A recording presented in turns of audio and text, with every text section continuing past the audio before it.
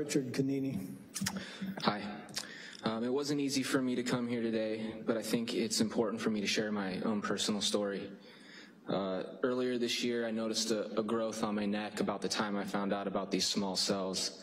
Turns out that I had a cancer called a, a malignant schwannoma, or a malignant peripheral nerve sheath tumor. It was removed on April 4th at Stanford, um, but statistically, the prognosis is, is not good for me. I'm 36 years old. Two of the largest studies ever completed on cell phone uh, radiation and, and, cell station radiation uh, were conducted and released uh, this year. After 20 years, the National uh, Toxicology Program released their studies, and the strongest finding was that male rats had an elevated risk of developing tumors called malignant schwannomas, the same one that I had. Sex and species-dependent increases were also observed for lymphoma as well as cancers of the prostate, skin, lung, liver, and brain, but these findings were of weaker comparison compared to the malignant schwannomas. The new findings are incredibly important, says David Carpenter, a public health physician at the State University of New York in Albany, who has long warned about cell phone dangers. I think this is the first clear evidence showing that these sorts of radio frequency fields increase risks of all kinds of cancers.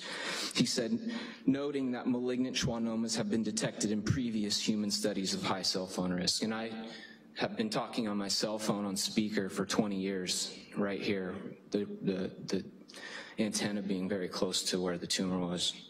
Also in Italy, the second largest study was released in March of this year, and it also showed an increase of malignant schwannomas. A statistically significant increase in the incidence of heart schwannomas was observed in treated male rats.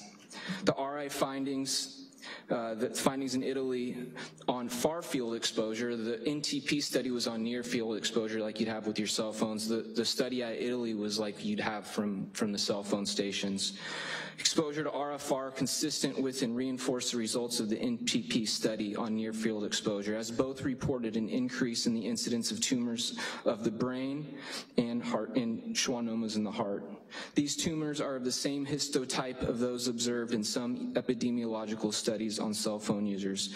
These experimental studies provide sufficient evidence to call for the reevaluation of the carcinogenic activity of this type of radio frequency. So let me be your canary in the coal mine here today, okay? It takes years for these things to show up on the epidemiological records.